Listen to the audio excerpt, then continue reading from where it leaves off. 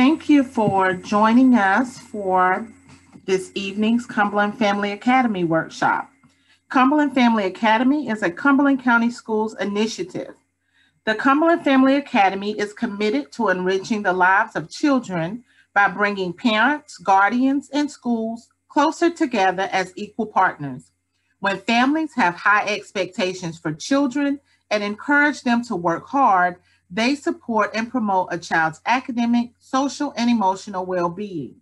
The purpose of the Family Academy program is to provide families with the necessary tools to support the success of their child's education. This evening, our workshop presenters are Patricia Eaton, Sean Brost, and Wanda Wesley's Wesley, our team from our CCS pre-K department. They will have the opportunity to introduce themselves before we get started. Again, thank you for joining us for Cumberland Family Academy. Sorry, they, children, don't come with instructions with our pre-K team. Thank you so much, and I'll turn it over to you. Good evening, everyone. We're so happy to have you join us tonight. My name is Patricia Eaton. I'm the pre-K coordinator with Cumberland County Schools. Along with us tonight is Wanda Wesley and Sean Brost. Uh, did you all want to say hello? Oh, hi, everybody. My name is Sean Brost. I'm the preschool, exceptional children's preschool specialist um, for Cumberland County. Good evening, everyone. I'm Wanda Wesley, and I'm with Cumberland County Schools pre-K department. And we're so happy that you joined us tonight. So our workshop starts off, sorry, they children don't come with instructions. Now, if children don't come with instructions, then how do we learn to be parents? That's the, that's the important question.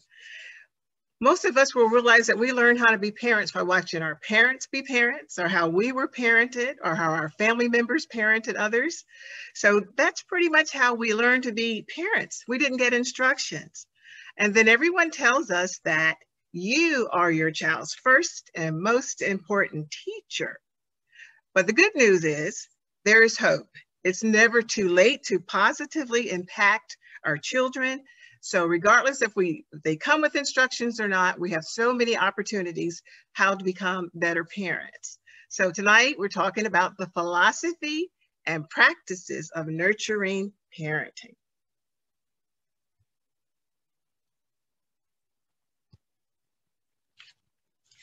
The community-based education and nurturing parenting series is what we'll be using tonight. And we will be talking about or addressing the first first one in the series, which is the philosophy and practices of nurturing parenting. If you notice here, there are 10 different uh, workshop topics, topics under this. And there are ages and stages of growth for infants and toddlers, ways to enhance positive brain development in children and teens, communicating with respect, building self-worth in children, understanding feelings, understanding and developing family morals, values, and rules, praising children and their behavior, alternatives to spanking, and learning positive ways to deal with stress and anger. The Nurturing Parenting Education Workshops are a non-judgmental but proven series of lessons that empower parents and caregivers with the skills to increase positive parenting attitudes and behaviors and support a more nurturing way of life for families. It was established in 1983 by the Family Development Resources.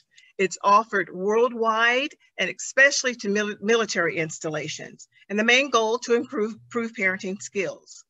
Now there's another version of these workshops that you may have heard about but they're more intensive and they're for families who may be ordered to go to parenting workshops through DSS or the court system. And our local partnership for children does offer those types of workshops. But tonight we're going to be delving into the community-based education of nurturing parenting and the philosophy and practices of nurturing parenting. And what this session is going to do, it's going to give you an overview of all of these other 10 topics, just enough to get you excited and interested about learning more. So we hope that you'll get gain a lot of information tonight. Now, our goal is to increase parents' knowledge of nurturing parenting. We can't teach what we don't know. Our objectives are to describe nurturing parenting principles, to help parents realize their ability to impact a child's emotional development by being a nurturing parent, and to define ways parents can become nurturing parents. And we'd like to maybe add another uh, goal or objective for tonight. We want you to know that we are resources for you. If you want additional information on any of these topics, we can either provide those for you or link you to other community resources.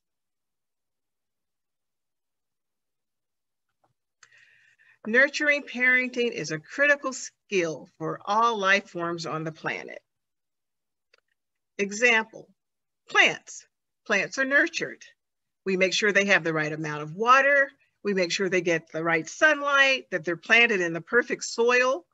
But the thing about uh, plants versus children, plants normally come with instructions. We usually get our plants and there's a little tab that tells us how to take care of them, but we don't get that with our children. So this nurturing parenting should be very helpful for us.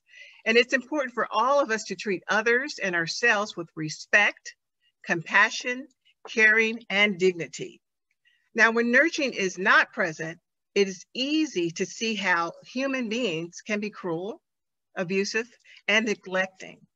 Now let's think about nurturing. What do we mean by nurturing? Let's see, sorry about that. Nurturing comes from the Latin word nutri tri tura, and that means to nurse, to nourish, and to promote growth. But nurturing is more than just giving your child food or shelter or clothing. It is also about building healthy and strong emotional relationships or attachment between you and your children. Now you look at this picture here with the father and son. There look like there's a lot of nurturing going on. They're touching and smiling. But sometimes it's difficult for parents to be nurturing naturally because they weren't nurtured as children. So it's sometimes a little more difficult for that. It doesn't just come naturally. So that's what we're encouraging parents to make it um, intentional to learn about nurturing. Nurturing means being the person your child can count on when, even when they're unlovable. Because when they're unlovable, they're throwing tantrums, they're not doing what you told them to do, they're acting out in school, that's when they, they usually need the most nurturing. So just being nurturing can make a big difference in a child's life. Now, nurturing parenting emphasizes raising children in a warm and caring and trusting home and it's the importance of helping children to be respectful and cooperative and caring. Children who are cared for are treated respectfully and treat themselves, others, and the environment in the same manner. And we've seen that word several times, and we've just started the presentation respectfully, respectful. It's so important, and nurturing parenting is founded on that belief it's almost like children are watching us and they're also more likely to do what they see us do. So to nurture them, they're always watching how we treat others and they're how we care for our surroundings. And when we nurture them, we're setting the, the, the, the model for them to do the same. And we're respecting our children regardless of how they're behaving. Now we talk more about the fundamentals or the primary uh, principles of nurturing parenting. We're gonna go over feelings of attachment, empathy, nurturing oneself, discipline, expressing feelings, expectations and self-worth, and gentle touch. I will share some of the information. I'm going to start talking to you a little bit about the first two, which are the feelings of attachment and empathy. And then our Sean will take over from there to go to delve deeper into the other areas. Let's start with attachment. Attachment or attached parents convey a deep love to their children that is unconditional. They express joy being with their children. They create a safe home for the children to explore, and they promote a sense of safety and security. And the key word here, I think uh, the key expression is that unconditional love. It means it's not subject to any other thing Oh, I'm going to love you and I'm going to nurture you if you clean up your room. Or I'm going to love you and I'm going to nurture you if you do well in school, if you get all A's. Oh, I'm going to love you and nurture you if you do what I tell you. No, that unconditional love means I'm going to love you and nurture you because I'm your parent and you're you. So that's so important to instill in our in our children, that sense of being unconditionally loved and nurtured. Feelings of attachment also deals with focusing on how parents really listen to the thoughts and feelings of the children.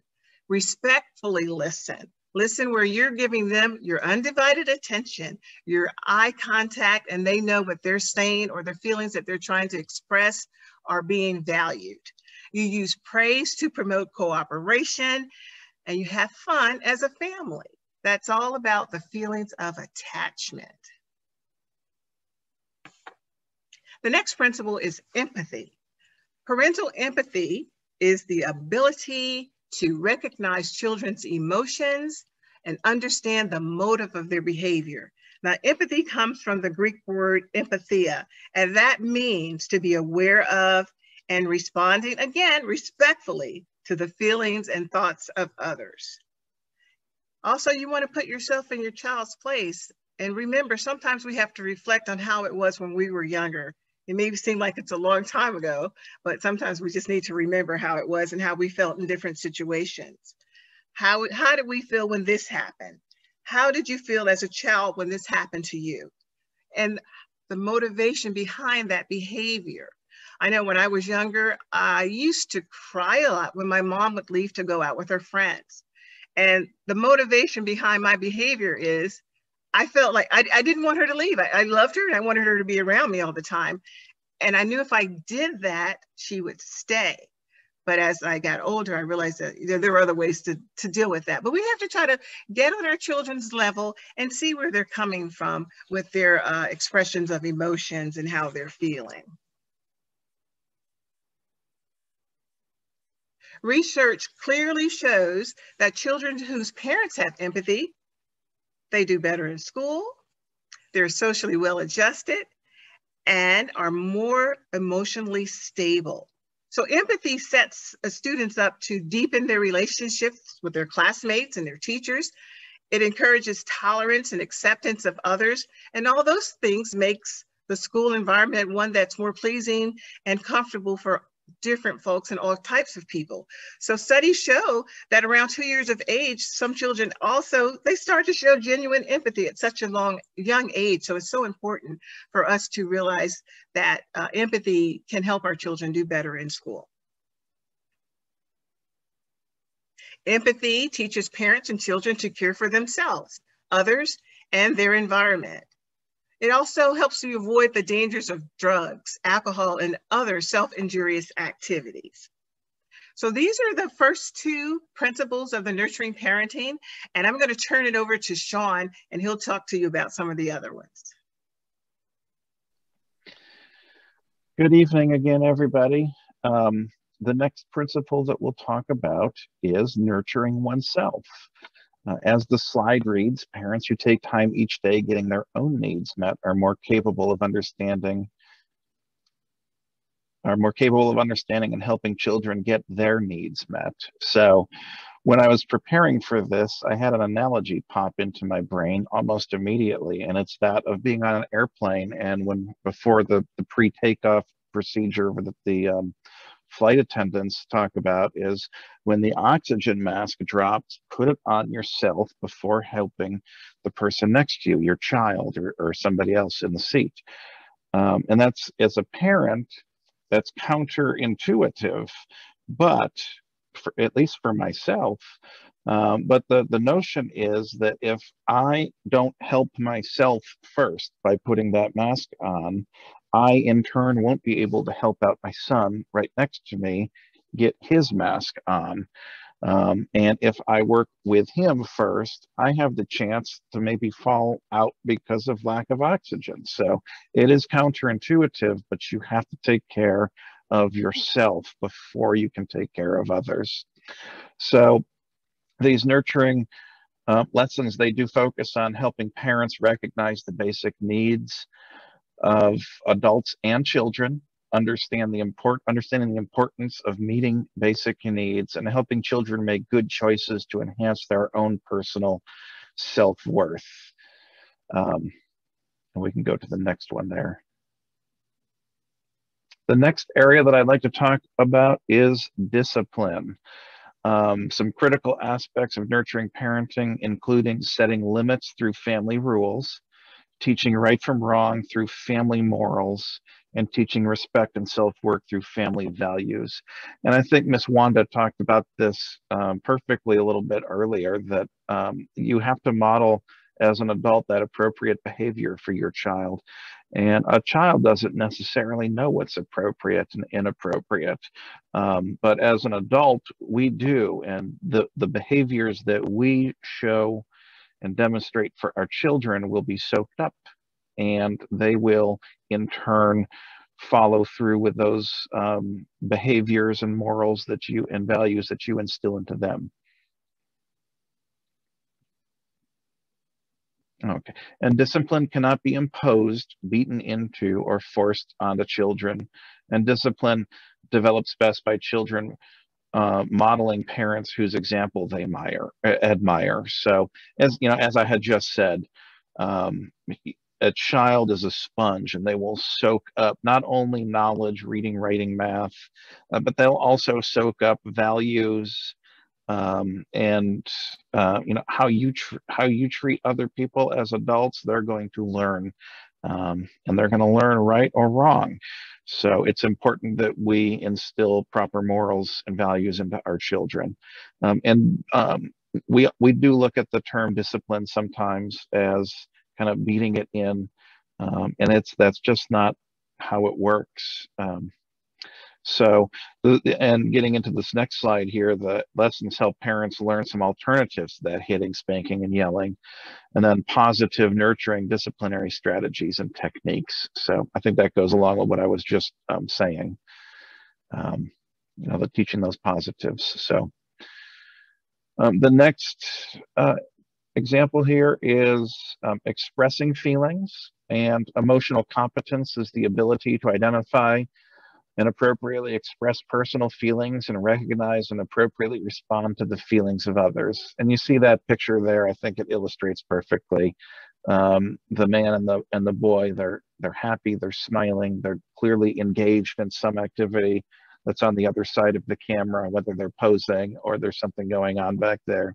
Those two are clearly in sync and, and in tune with each other. Um, and uh, that's that emotional connection that we're talking about here. So nurturing lessons also teach parents and children the difference between feelings of comfort and discomfort, healthy ways to express emotional energy, and ways to manage and reduce feelings of stress and anger. And this picture here, this little guy is doing one of my personal least favorite activities, and that's shooting hoops. But that might be a healthy way for that person to express their emotional energy.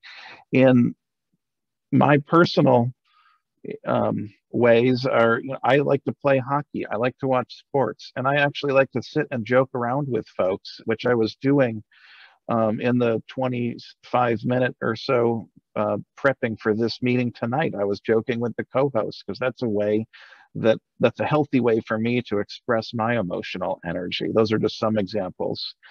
Um, and uh, you know, you whatever your outlet is, like I had said originally and the first part, um, you know, you need to find that outlet that's healthy for you. So the, the next principle is expectations and self-worth. Um, children's overall feelings of worth are lowered when parents make demands on children that they are unable to meet and they have no expectations. Let me read that slide to you again in adult terms.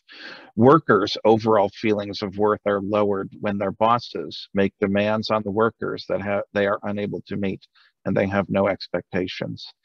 That does not sound like a fun working environment to me, and it doesn't sound like a fun um, emotional environment for a child either. So we put demands on ourselves and we put demands on our children. We put demands on people around us, um, and those demands must be reasonable. Um, they must be attainable. Um, and we have to have high expectations, not only for our children, but for our coworkers, our community members, and we have to have high expectations for ourselves. Um, and the nurturing lessons, they also um, help parents learn the appropriate stages of development. ways to build self-worth in children, and, under, and the importance of understanding neurological development in children.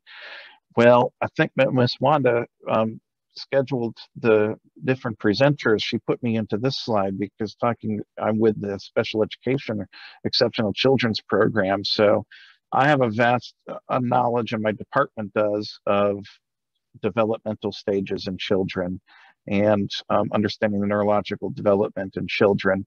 Um, but it's important that everybody knows kind of the basics around that. So um, a good example I have is uh, you have a six-year-old at the house uh, and you have your six-year-old and throw down the folder. This is my 2020 tax folder. And we say, get to work, son. It's time to work on the taxes. Do Here's all the W-2s. Here's all the bank statements. Um, let's see how quickly we can get all this itemized.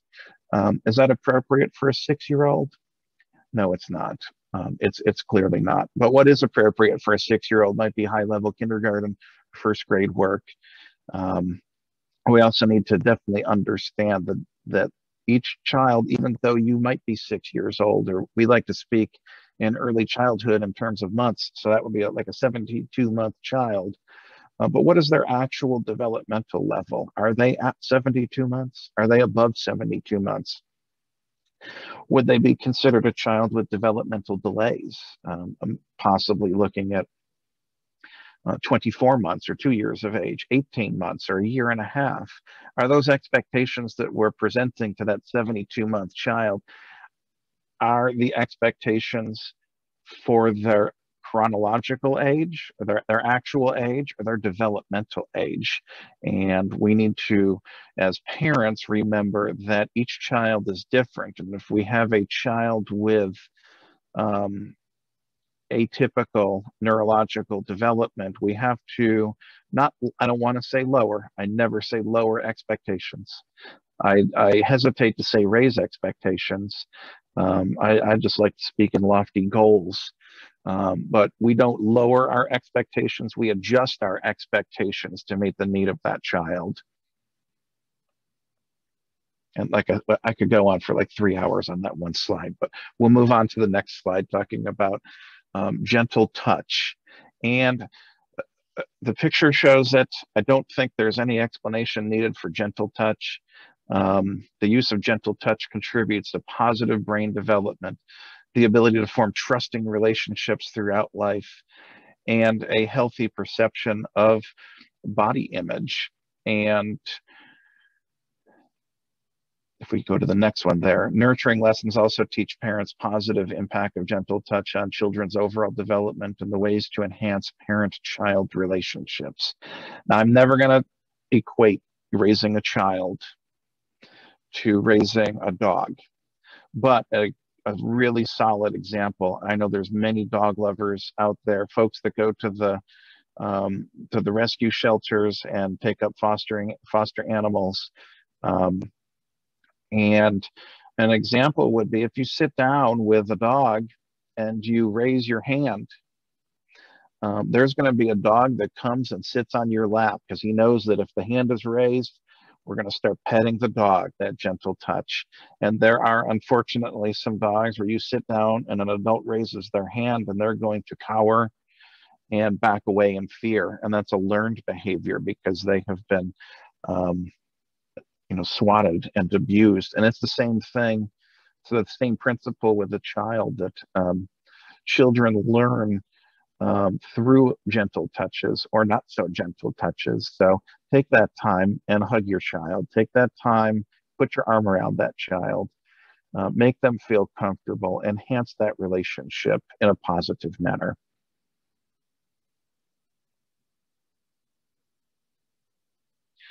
Um, we have a scale here for rating um, your nurturing parenting skills. And you can do this informally right now um, or in the full workshop, there's a hand, you can fill out a handout, but we're looking at those areas, attachment, empathy, nurturing oneself, gentle touch, discipline, expressing feelings and expectations.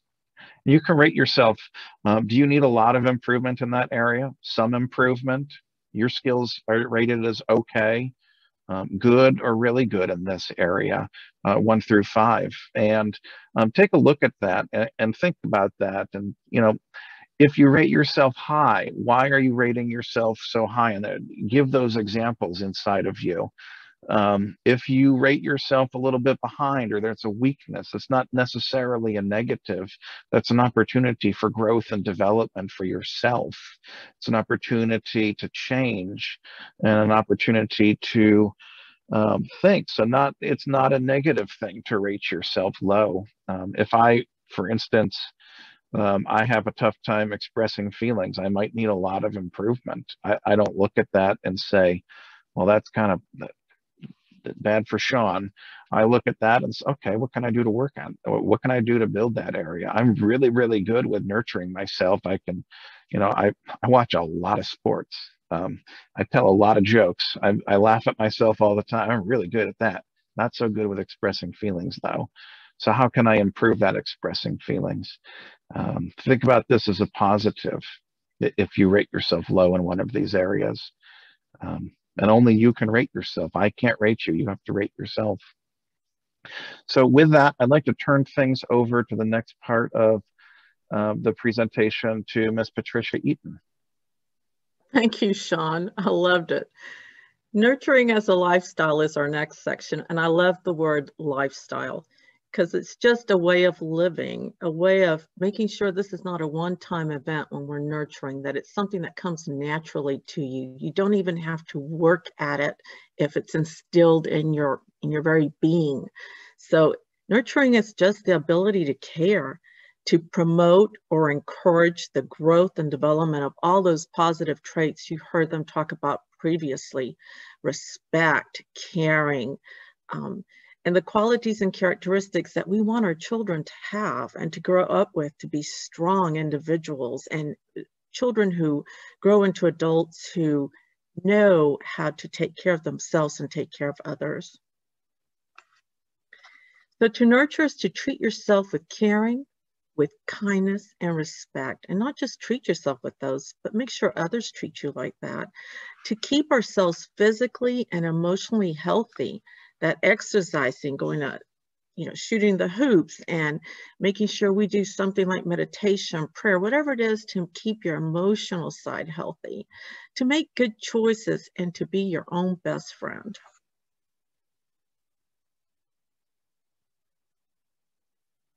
So here's the question, why don't we nurture ourselves? Because a lot of us don't.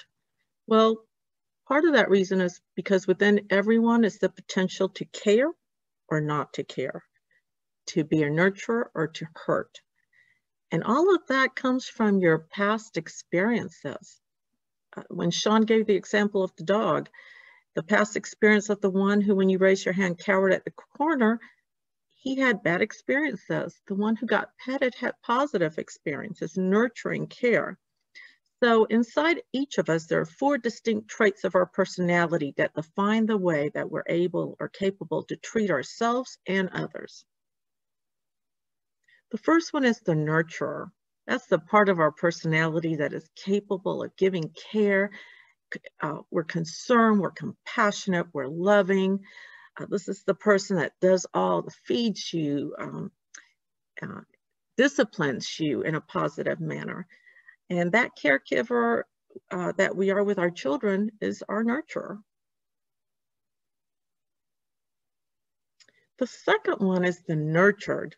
That's the part of our personality that loves to receive that care, that we seek that closeness and, and um, attachment with other people.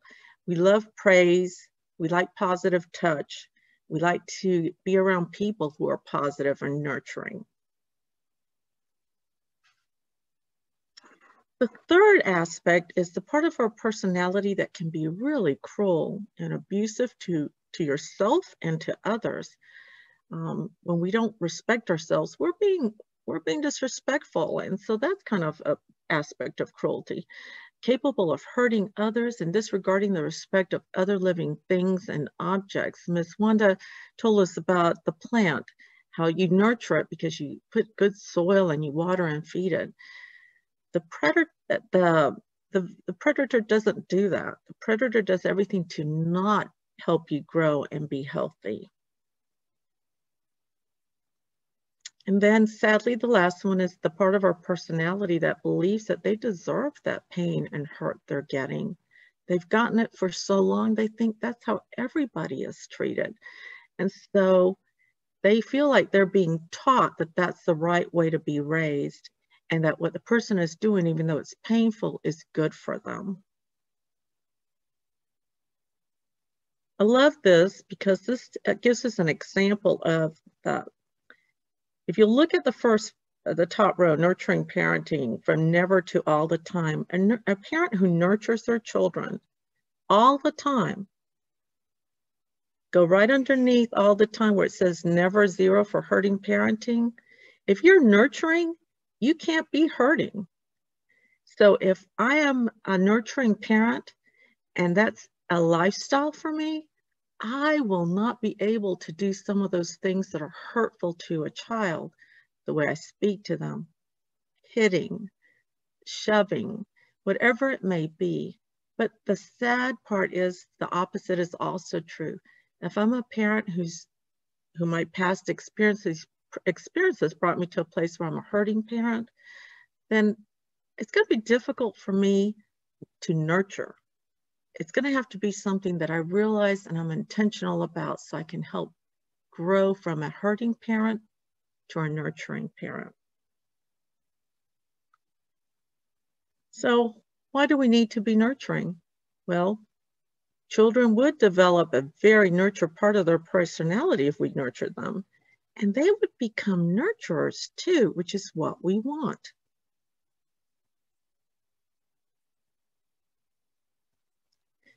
If you practice hurting, if your hurting parenting is practiced, then your child is going to develop that big victim part of their personality. They're going to think that they deserve that and that that's the way everybody gets treated. And so they're going to come to believe that it's just, hey, that's just that's a lifestyle for them then. Life, life as a victim, though, leads to even worse things because it causes one to go next to being a predator. And being a predator, we talked about earlier, is when you're cruel and you hurt people, whether it's by hitting or verbal or emotional. And that becomes a lifestyle from you. But that again comes from the experiences you had as a victim, those prior negative experiences that were not good. So we asked a while back, why don't we nurture ourselves? Well, sometimes we can't nurture ourselves because we don't think we deserve it. We don't think we need that respect. We're not entitled to it. Our past experiences have told us that we're not worthy. And so we have to get past that so we can nurture ourselves. So why is it important? Well, again, Sean hit it right on the head with the airplane illustration. If you can't nurture yourself, you can't nurture anybody else. I am only capable of giving what I have to give. And if I haven't nurtured myself, if I haven't taken care of myself, I can't take care of somebody else. So we really need to take time each and every day, as selfish as that may seem to some of you, but we need to take time to do those things that nurture us. And again, it doesn't matter what it is, if it's taking a walk or just sitting in a quiet room for five minutes, take that time to nurture yourself so that you can nurture others.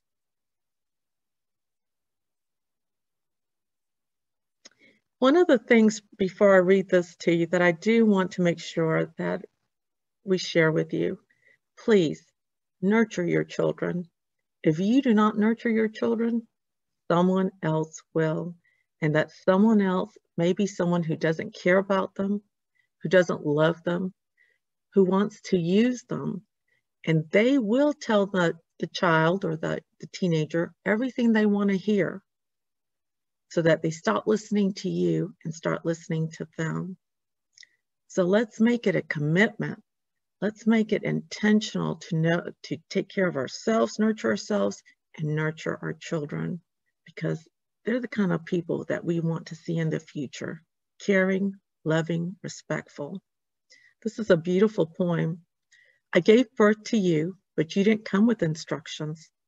I know that I made mistakes along the way, and for those I am sorry.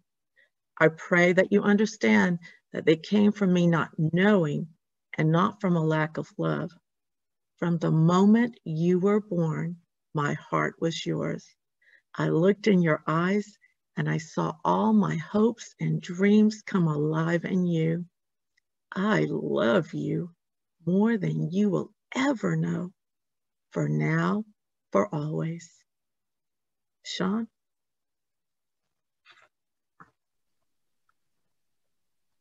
Well, that is our presentation. Uh,